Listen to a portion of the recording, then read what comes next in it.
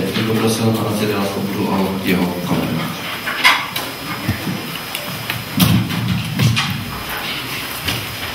Já také děkuji za pozvání. Na mě to zapůsobilo mimořádně.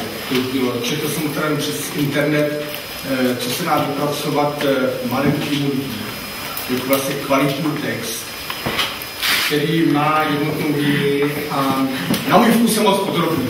To říkám jako ze svého pohledu, ale klobouk protože eh, když porovnám s jinými texty, které jsou spalovány, tak tento text má eh, skutečně obsah, a, ale já mu říkám jednu věc, že moc někdy ve své kritice. Eh, nikdy to v Čechenském paláci nebylo jednoduché. Vždycky se vedl zápas a já budu provokativní řeknu šest příkladů o rozvalu české politice pod vedením Karla Schwarzeneggera. Šest bodů rozvalu. První je japonská společnost. Za prvé, článek 63 ústavy říká, že hlava státu, tedy prezident republiky, má pravomoce, které potřebují eh, ke kontrasignaci, k platnosti kontrasignaci premiéra a nese za ně odpovědnost vláda. A když si přečteme, tak zjistíme, že v článku 63 je veškerá zahraniční politika. Odmítám kliše o nějakém koncenzu. Za zahraniční politiku nese odpovědnost vláda a teč. Žádný koncenzus nikdy nebude a je to iluze a nikdy taky nebyl. No a hleďme, co se odehrálo a teď půjdeme k tomu, co se bude odehrávat eh, na téma ratifikace. Prezident republiky je povinen ratifikovat eh, jenom se souhlasem parlamentu a já tady mám obě dvě usnesení, jak poslanecké sněmovny, tak senátu. Obě dvě komory dali souhlas k ratifikaci a dva dokonce sněmovna nebudu vás unavovat čtení. Trvá na tom, že eh, charta evropských práv eh, nás neohrožuje, je tam výslovný odkaz na to, že nemůže být návrat k Benešovým dekretům, revize po válečném uspořádání, zkrátka nic z toho, co tvrdí Václav Klaus, že tam není. To je velmi důležité ústavně, protože toto řekne ta komora. Druhá komora se dá bez dalšího ratifikace. A hle, prezident republiky poté prohlásí větu. Před ratifikací si Česká republika musí alespoň dodatečně vyjednat obdobnou výjimku, tím nám bude dána garance, že Lisabonská smlouva nemůže bez prolomení tzv. Benešových dekretů. No a co udělá vláda? Protiústavně. Běží do Bruselu a předloží toto na Evropské radě. Nikdy nedostala souhlas k tomuto postupu. Protože parlament dal souhlas jenom k jednomu postupu, ke smlouvě jako takové bez dalších podmínek. A každý absolvent právnické dvouletky ví, že k, že k přístupovému protokolu nelze připojit nic dalšího. Pan Mark říkal, že už mluvíme o agent komise, ale já mu to prokázal i v odkaze příslušné články primárního práva, že k přístupovému protokolu nelze připojit nic dalšího. A hle, Chorvatsko vstupuje do Evropské unie, protokol je podepsán já se ptám, co s Českou výjimkou? Co s ní bude? Co udělá Čínský palác teď? K této otázce, zda výjimka má platit nebo nemá, trváme na ní nebo netrváme, stavujeme nebo nestavujeme, protože děláme jako hlupáci. Od první chvíle jsme žádali něco nemožného. A to by mě zajímalo, to je první otázka, co se bude dít s touto výjimkou teď, když eh, protokol probíhá, jo, ratifikace probíhá, Chorvatsko vstoupí do Evropské unie a nikdo Českou výjimku nestáhl. Respektive pokud nestáhl, jaká je koncepce Černického paláce, kde pokračovat s touto výjimkou na první. Druhé téma. Smlouva o e, fiskální odpovědnosti, vlastně jmenuje smlouva o stabilitě, koordinaci řízení hospodářské měnové unie. Jak je možné, že předseda vlády jede na jednání a nevezme si sebou plnou moc, kterou potřebuje. To znamená, předseda vlády jede na jednání na Evropskou radu. Rovnou rozhodnut nic nepodepsat. A Černický palác tomu mlčí. Nebo respektive buď to nepřipravoval poklady, nezajímalo, jak toto probíhalo.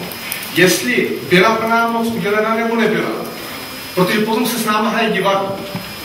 Nebo když potom čtu větu pana premiéra, která mě fascinuje. Tímto způsobem se zkrátka nejedná. Česká republika pod mým vedením se nenechá manévrovat k, k takto zásadním rozhodnutím za podivných podmínek při jednání kroužku několika evropských lídrů. A to mluví o Evropské radě. Tak já se ptám, jako, co to je? Bereme my vážně orgány Evropské unie, nebo to je kroužek náhodných lídrů, který se sešel? A vůbec není pravda, že smlouva byla pět minut přiložena ke stolu. A mě by zajímalo, co, proč tento zápas Černínský palác nevede. A neříká, toto musí skončit, nebo autoritu země. Naše slovo musí platit a naše země je země, která, když něco řekne, tak se na to dá spolehnout. S tím souvisí třetí bod. A ten se týká restitucí. Pečlivě jsem si pročetl zprávu ministerstva financí, který schválila vláda.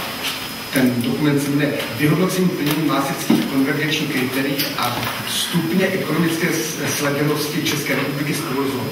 To použiju se mám to přečíst. Tam čteme o tom, jak to bude s naším roz, dluhem vládním i veřejným. Jak budeme disciplinovat. Ani slovo o restitucích, respektive o kompenzaci. Je jasné, že si můžeme vyjednat výjimku z aktuální metodiky, že nám nebude restituce zapsána jako porušení disciplíny veřejného dluhu. Je to možné udělat následně. A je možné, že to vyjde. A tak je možné, že to nevíde. Ale mě zajímá otázka, když je to vládní návrh, proč se s touto problematikou už nikdo nezabýval, protože ta samozřejmě bude-li schválen zákon o úpravě některých postavů mezi církvemi a státem a bude-li vyplacena náhrada, musí se promítnout do vládního rozpočtu i do rozpočtu veřejných. A mě by zajímalo, jaká je strategie v této oblasti, aby ten zákon prošel, protože já jsem zastáncem restitucí a mě by zajímalo, jak toto se vyřeší respektive jaká strategie k této otázce a co říká ministerstvo zahraničí věcí k tomuto dokumentu a jak vidí otázku dál. Čtvrté téma je exportní strategie. Když si čtu text, debaty unavovat těmi texty, ale čtu, že Karel Schwarzenberg eh, říká, že chce změnit to, by mohl celý odstavec, ale pokud by mě to našknul, že si vymýšlím, tak přešli celý odstavec, že je chyba, aby vedoucí zastupitelského úřadu byl šéfem obchodního zastoupení, tak vzdal velký zápas. Vždycky má být velvyslanec vedoucí.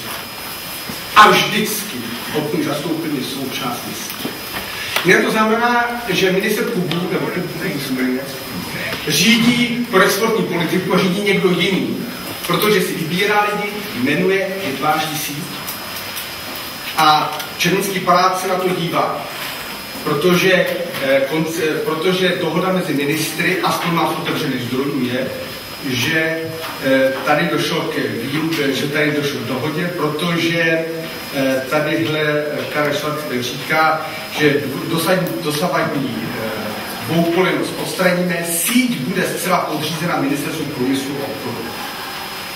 Cituji. Možná se mýlím, z Takže to znamená, že česká projektovní politika z Černínského paláce vymezila tak. Předposlední bod, návštěva nevědět.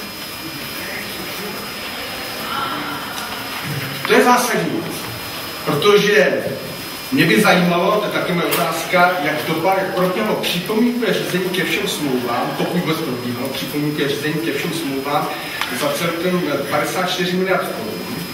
Protože, eh, jak mám z otevřených zdrojů, znamená to, že tady eh, píše eh, aktuálně, že od Rusů je to 5 stupní zátavek k tomu, aby získali kontrakt století na dostavbu temelí na hodnotě 200 miliard.